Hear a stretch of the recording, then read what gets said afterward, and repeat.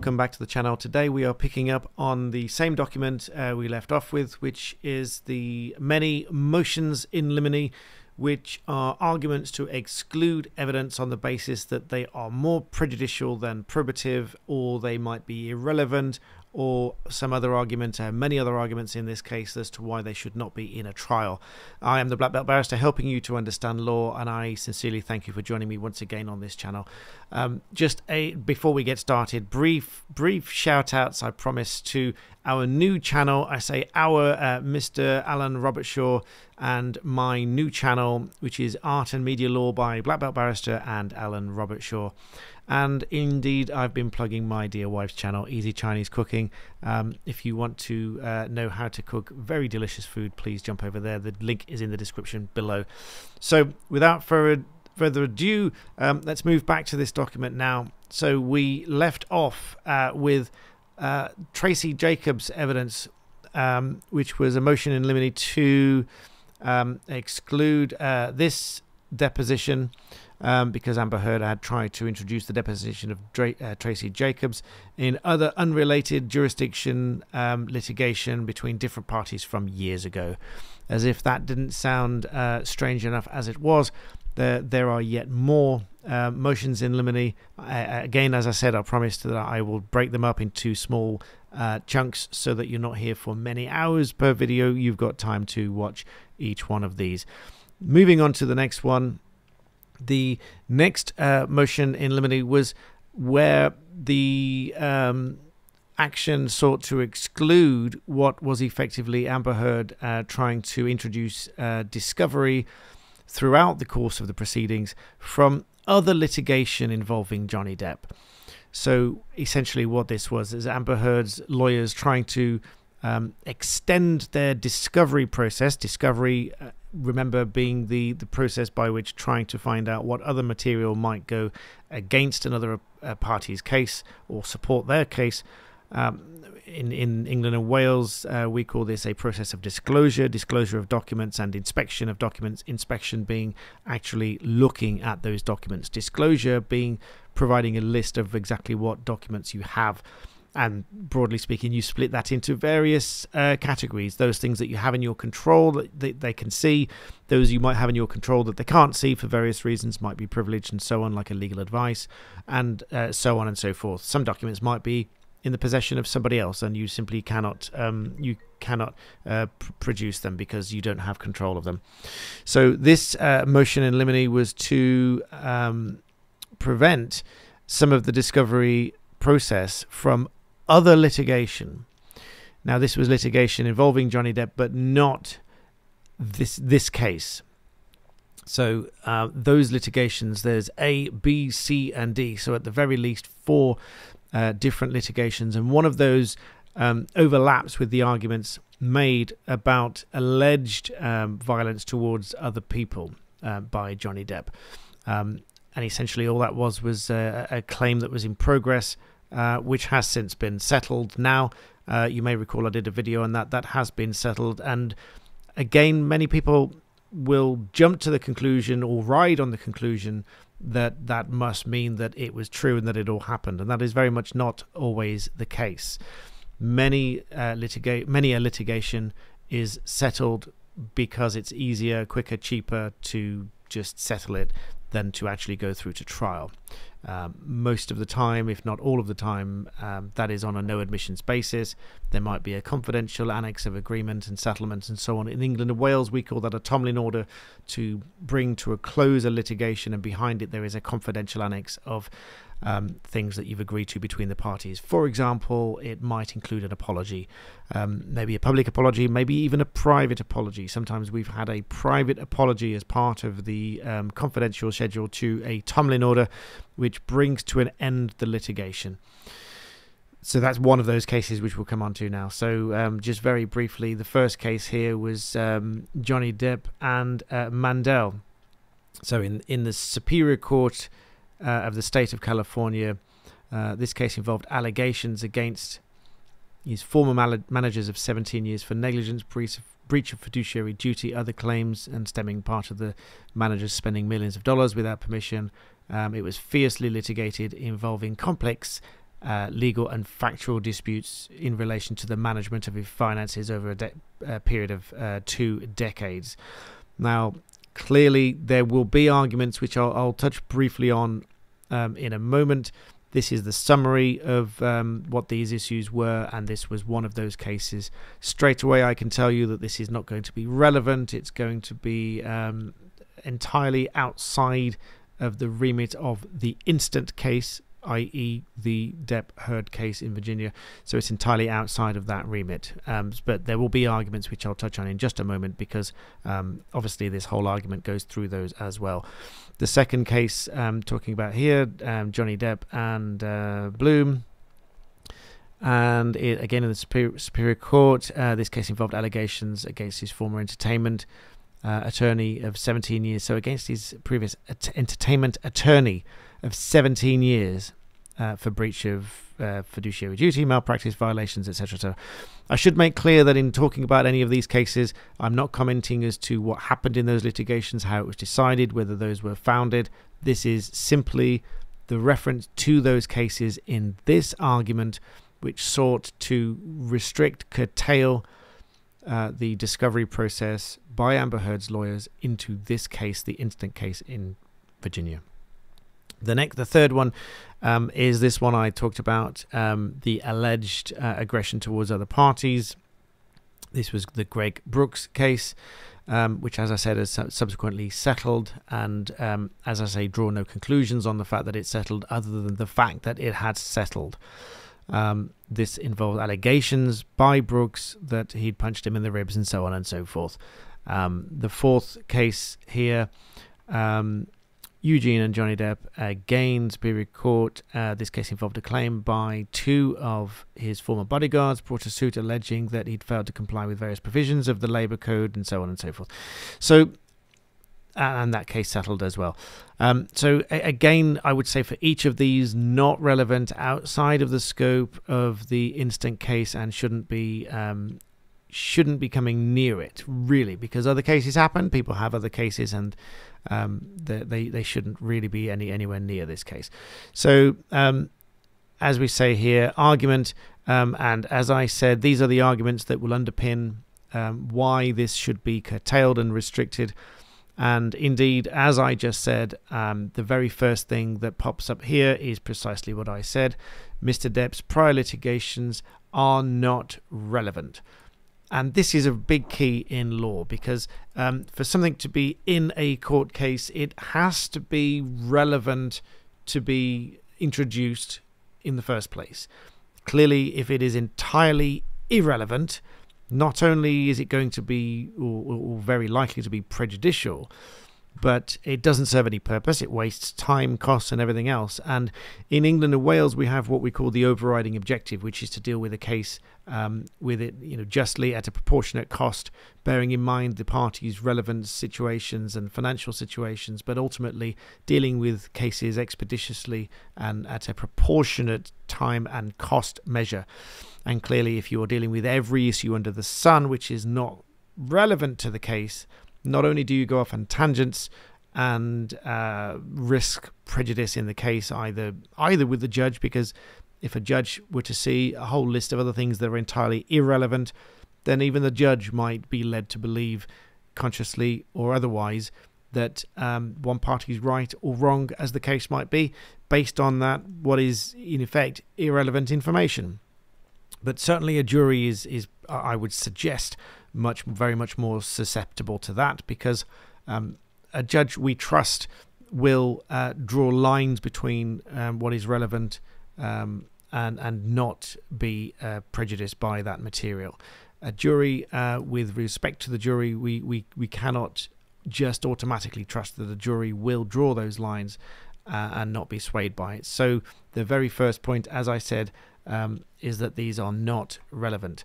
So, um, first, the other litigations are, and it's a strong emphasis here. There's there's not often an emphasis in legal documents, but we do see quite a few of them in here. Uh, totally irrelevant to the claims and the issues in the present action, and should be excluded on that basis alone. And there is a supporting code uh, for that as well. Uh, very often in legal documents, you will see that we put various codes here, and um, clearly, this is um, code from the Virginia, uh, Virginia, Superior Court, but in England and Wales, uh, we may use uh, case law, possibly a lot more common law.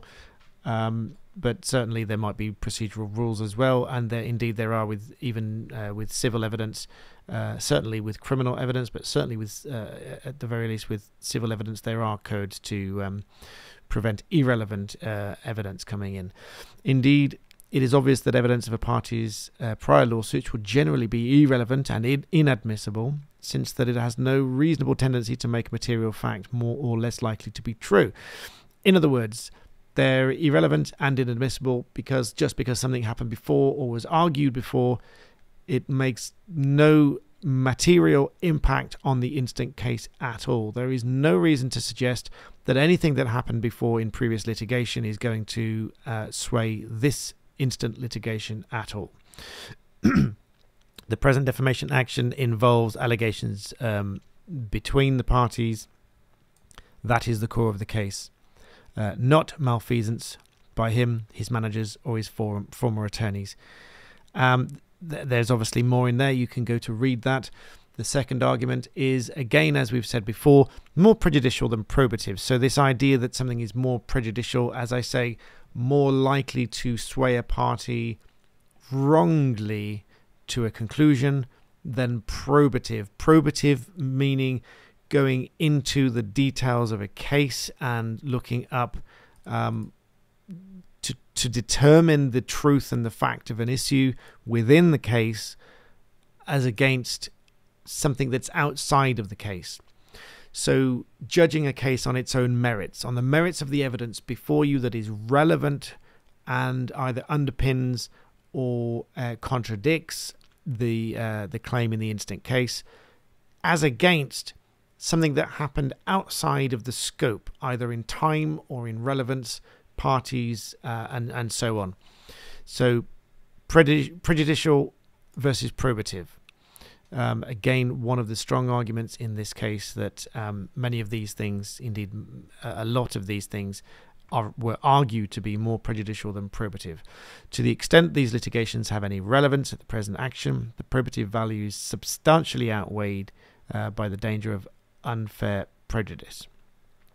And there is yet a third argument the other litigation should be excluded as improper character evidence. So this uh, bears a little bit of an explanation as well. Uh, we have mentioned it before on this channel. Um, character evidence is essentially going either towards or against a character's um, believability, credibility, and so if evidence is introduced that makes you likely to think that it's a bad person, um, that is what we would refer to as bad character evidence. Uh, everyone is deemed to be a person of good character, uh, although you you get a confirmation from the judge that they will direct that the person is of good character. But certainly with bad character, it, it is with the judge's approval that bad character is directed and accepted um, based on evidence. So um, this argument here, ultimately, that it is it should be excluded as improper character evidence. Um, this the Brooks case in this case will be highly prejudicial as improper character evidence.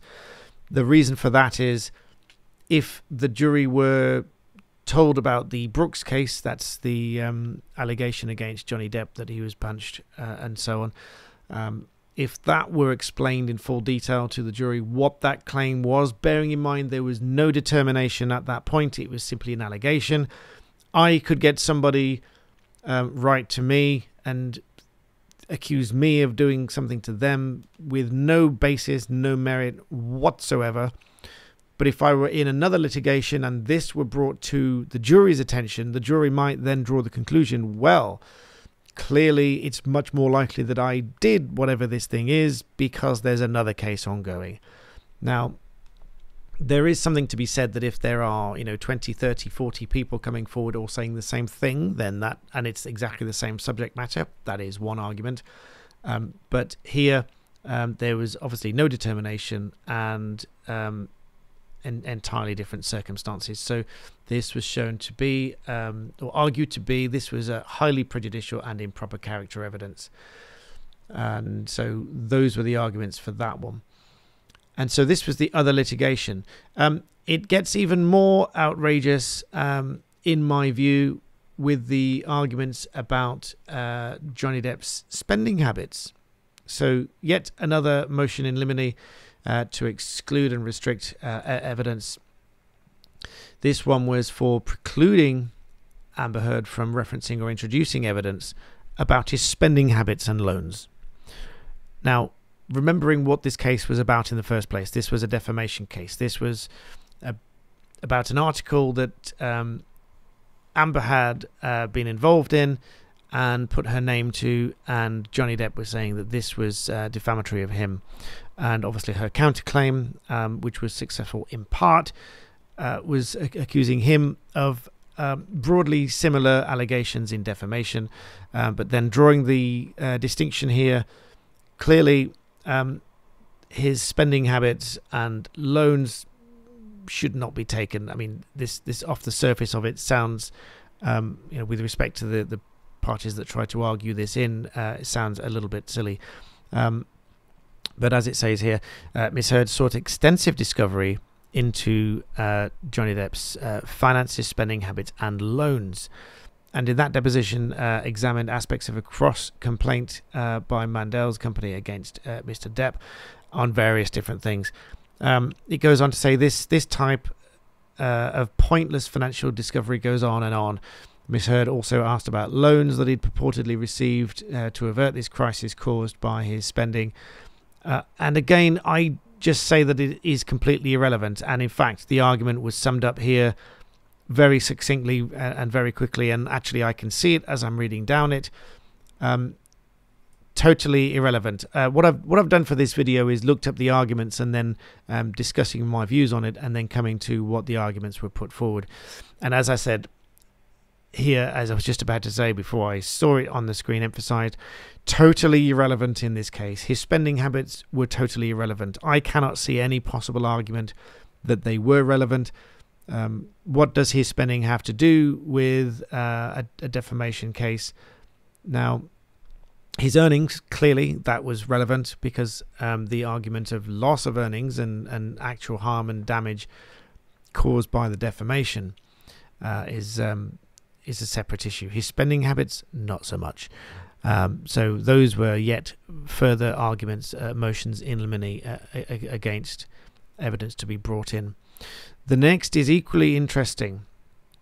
This, uh, if you recall, um, in relation to uh, Miss Manson, Marilyn Manson, who was the subject of public allegations, very public allegations of abuse that made headlines. Now, again, this just, well, as this shows here, an approach uh, reflects to approach to the trial reflects a blatant intention to smear him uh, under guilt by association. And again, um, just bringing another name in and essentially trying to smear them both with the same brush. And says here there is no reason uh, to lob such ridiculous allegations into the case except to smear him by association. And again, there are extensive arguments that go on with this. Um, moving quickly on, um, this one um, very interesting about uh, an expert brought in by Heard's lawyers to essentially attack the police officers. Um, I won't go through this in great detail, but ultimately um, attacking the um, the police officers um, following or not following of procedures and remembering, of course, that they were witnesses to a lack of injury and a lack of damage.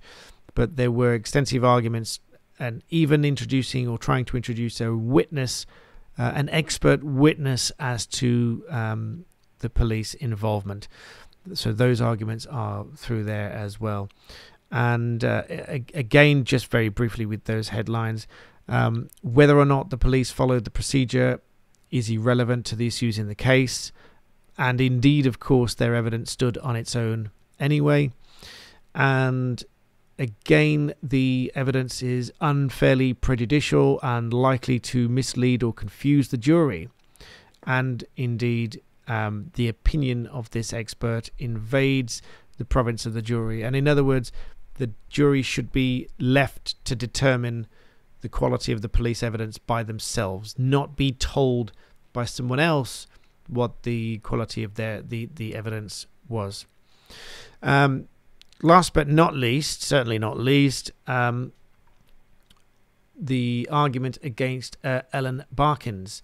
Now, this one is is quite remarkable. Um, the deposition of third party witness Ellen Barkin was taken uh, on November the 22nd, and Miss Heard designated portions of the depositions as evidence in this action. And essentially, Barkin had testified that um, she and Johnny Depp were in a brief intimate relationship around three decades ago. Three decades ago. And testified that although he was verbally abusive to others, but not to her. She never witnessed him physically attack anyone and was never physically abusive towards her. And so, nonetheless, this was um, brought or attempted to be brought into this case as evidence, and this motion in limine was to uh, argue against it and to uh, and to prevent it coming in. And the arguments there again relatively robust arguments. First of all, that it's inadmissible. There is a code to support that, in which clearly this should just not be brought in. Secondly, again, that it's improper character evidence, which we've just, just discussed before. And again, as we've discussed before, it's more prejudicial than probative. Now, finally, for this video, not finally altogether, you can tell by the page numbers, this is page 148 of 424 of this document alone. But finally, for this video to not uh, make it too long so that you've got um, bite-sized videos to go through, in this video, um, you may recall uh, Dr. Spiegel.